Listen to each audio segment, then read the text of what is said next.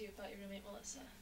I mean, she just like doesn't understand me or whatever. I mean, my football will be on her half the room and she starts screaming and I think like something's actually wrong. I don't even know where to start with her. First of all, like she's such a boy. I mean, she just really doesn't understand where I come from. She's like all about pink. I mean, we're just going to get food at the student center. She like has to be wearing like the latest jeans. Um, first of all, deodorant, number one problem. I mean, she has potential. She doesn't have to look that ugly.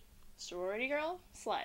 Melissa, slut. There you go. Melissa, sorority. They work out very well. And the sports bras, like uniboob kind of compression here. Like, does she own anything else? when she swims laps in the pool, I mean, she wears like this little thong thing because she just wants to make sure that all the guys notice her. And I don't think that's a purpose of going to the gym. I just love to wrap my hands around it. Oh, She's just fat. Wait, this is all confidential, right? wait, she's not gonna see this, is she? Oh, I'm a walking so- STD. Campus Movie Fest has really brought us together. The long nights, the long hours. Yeah, the entire CMF team has just helped us realize that we don't actually hate each other. We just really love each other. They've helped us expand our horizons.